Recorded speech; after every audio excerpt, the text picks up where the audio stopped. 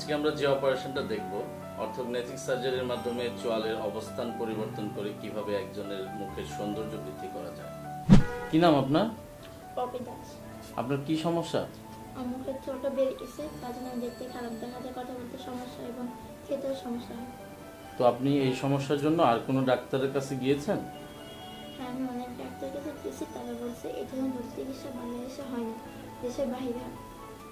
তো dental and মেক্সিলোফেসিয়াল surgery সেন্টারে আপনি কীভাবে আসলেন? আমার এক টিচার ইন্টারনেটে দেখছে যে আপনি একমাত্র ডাক্তার যে এই ধরনের চিকিৎসা করে থাকেন আচ্ছা আচ্ছা।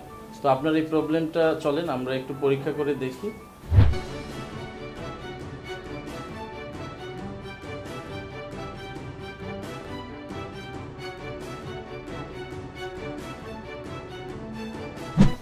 আমরা যে রোগীটা এতক্ষণ দেখলাম তার নিচের চোয়ালটা ক্রমাগত বেড়ে যাচ্ছে। যেটাকে ক্লাস থ্রি ম্যালোপ্রেশন বলা হয়, আমাদের প্ল্যান হচ্ছে এই দাঁতগুলোকে ফার্স্টে অ্যালাইনমেন্ট করব, তারপরে আমরা অপারেশনে যাব অপারেশনটা হবে যে উপরের চোলটাকে সামনের দিকে এবং নিচের চোলটাকে পিছনের দিকে নিব, যেটা ক্লাস ওয়ান অপারেশন হবে এবং যেটাকে দেখতে অনেক সুন্দর লাগবে। শুধু যার কথা বলছিলাম যে আমরা পপিকে অনেক দিন যাবতই হচ্ছে অর্থোডন্টিক্যালি ওকে প্রিপারেশন করেছি। আগামীকালকে তার অপারেশন হবে অর্থোগনেটিক সার্জারি হবে বা জ সার্জারি হবে। দেখতে পাচ্ছেন যে ওর চোয়ালটা একটু লম্বা এবং ওই সার্জারির ফলে ও সুন্দর একটি চেহারা ফিরে পাবে এবং সেই চেহারা ফিরে পাবার অপেক্ষায় উচ্ছ্বাসিত নয়নে সে এসে আমাদের কাছে হাজির হয়েছেন। হোপ ফর দ্য বেস্ট যে ওর একটা ভালো রেজাল্ট আশা করি দিতে পারা যাবে। আজকে আমরা যে অপারেশনটা করতে যাচ্ছি, এটা হচ্ছে উপরের চোয়ালকে লিফোর্ড ওয়ান অস্ট্রিওটমি করে অ্যাডভান্সমেন্ট করব এবং নিচের চোয়ালকে বাইল্যাটারাল সার্জারি স্প্লিট অস্ট্রিওটমি করে আমরা পিছনে নিব। পেশেন্টের যেটা সমস্যা ছিল যে ওর নিচের চোয়াল উপরের চোয়াল থেকে অনেকটা লম্বা, যার দরুন দেখতে অনেকটাই সমস্যা। তো আমরা এই সমস্যাটা ক্লিয়ার করব এই অপারেশন করে এবং আশা করি রুগীকে দেখতে অনেকটাই সুন্দর লাগবে। পপি কেমন আছেন আপনি? আমি ভালো আছি। আপনি কেমন আছেন? হ্যাঁ আলহামদুলিল্লাহ আমিও ভালো আছি। আচ্ছা পপি আমরা তো আপনার চিকিৎসা শেষ করলাম। হ্যাঁ।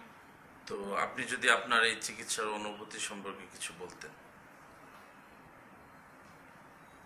আমি আমার চেহারা নিয়ে অনেক সংকোচ বোধ করতাম। এই চিকিৎসার জন্য অনেক জায়গায় গিয়েছি কিন্তু কোনো সুফল পাইনি। পরে মনে হলো যে এই চিকিৎসা এই দেশে আর হবে না। এক পর্যায়ে আপনার কাছে মানে আপনার কথা জানতে পারলাম টিচারের মাধ্যমে।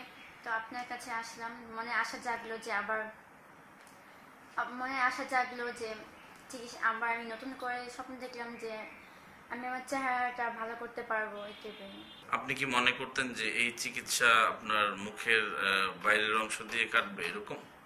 হ্যাঁ ফার্স্ট টাইম এরকমটা ভাবছিলাম কিন্তু আসলে এরকমটা না।